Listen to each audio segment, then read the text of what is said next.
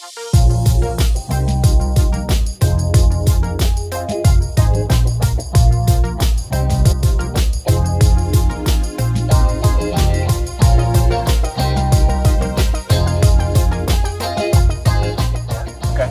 went to Art Center, I had another very weird car called the Matra Murena. It was a mid-engine French sports car that probably also nobody ever heard about. But it got you to school. It got me to school. There was a three-seater, and the cool thing was I could have two girls sitting right beside me. Wow. That car was kind of cool. I love spicy Indian food, curries. Right. Uh, but also one of my other favorites is a, a good old American steak. My wife and I we work together, and uh, she's she has a smart business mind. Yeah.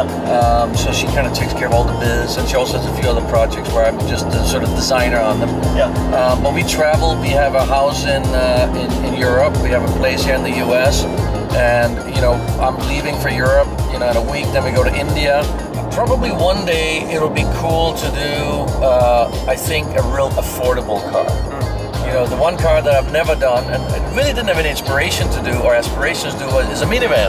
Ah. and we talked about that, and we thought, you know, it would be really cool to just do a super cool, oh, yeah. hot, sexy minivan one Yeah, day. yeah. Where you just like really go wild. something for the SEMA show. yeah, something- right. not for production, but for the SEMA show. Sure, so, sure. so I said to Bo, why don't we do that for the next SEMA show? Whether we actually do it or not, I don't know, but it would be a fun. Knowing project. Bo, and, knows? and Bo, if you're watching, you know you're going to do that car.